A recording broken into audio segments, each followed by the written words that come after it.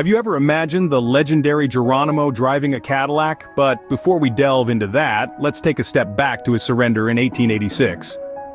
This moment marked not just the capitulation of a formidable warrior but the end of an epic. Geronimo, the Apache chief, was known far and wide for his audacious resistance and indomitable spirit. As the sun set on the era of the Old West, Geronimo handed over his arms to federal forces in a moment that would forever be etched in the annals of history. His surrender was more than just a personal defeat, it symbolized the end of the Apache resistance, an event that marked a profound shift in the American frontier. Yet it's important to remember that this surrender wasn't the result of a lost battle, but rather an acceptance of the inevitable tide of change. Thus, the formidable warrior gave in, not to the battlefield, but to the inevitable wave of change. But this was far from the end of his story.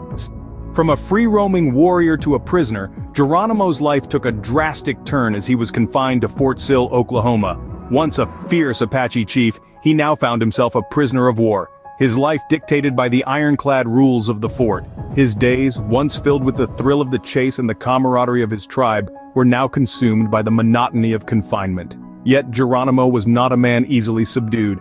He found ways to keep his spirit alive amidst the harsh realities of life at Fort Sill.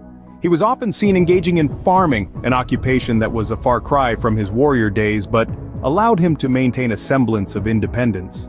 He also sold photographs of himself, a savvy move that allowed him to connect with the outside world and earn a small income. Despite the chains of captivity, Geronimo managed to leave a mark, even within the confines of Fort Sill. In 1904, Geronimo was given an opportunity to step out of Fort Sill for an extraordinary event, the St. Louis World's Fair.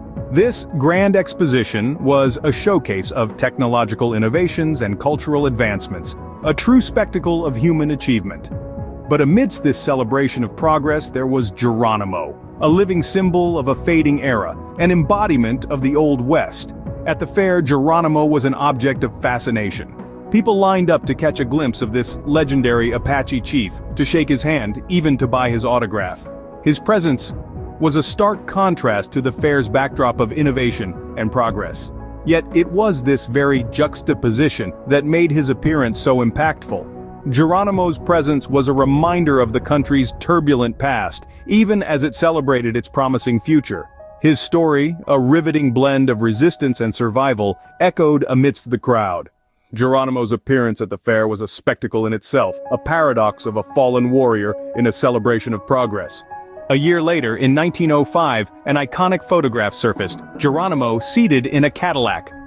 This image, though unexpected, paints a vivid picture of the shifting gears of time and the adaptation of an old warrior to a rapidly changing world. To set the scene, imagine it's the dawn of the 20th century and the world is on the cusp of an industrial revolution.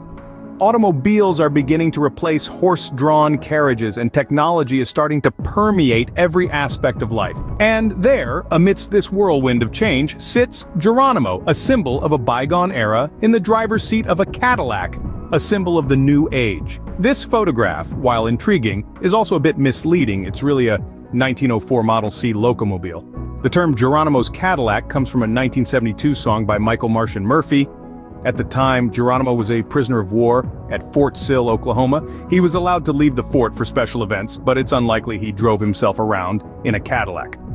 The car, in fact, belonged to a man named Albert Miller Lee, a retired general who had fought against Geronimo's Apache tribe. The photo was taken during a parade in Oklahoma, where Geronimo was invited to participate. The irony of the situation is hard to miss. Here was a man who once roamed free in the wilderness, now confined to a reservation and paraded around in a symbol of the very progress that had cost him his freedom. Yet, there's a certain resilience in Geronimo's eyes, a defiance that seems to say he's not defeated, merely adapting. The Cadillac photo, in all its complexity, is more than just a snapshot of a man in a car. It's a symbol of a changing world, of the old meeting the new, of the resilience of the human spirit in the face of change. Though Geronimo never owned a car, that image of him in a Cadillac remains a poignant reminder of a time of transition, a warrior's adaptation, and the relentless march of progress. Thank you for watching and please like and subscribe for more.